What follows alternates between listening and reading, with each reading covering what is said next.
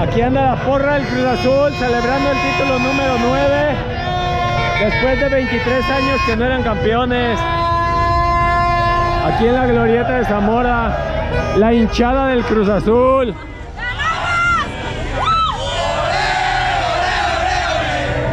Aquí está toda la hinchada del Cruz Azul.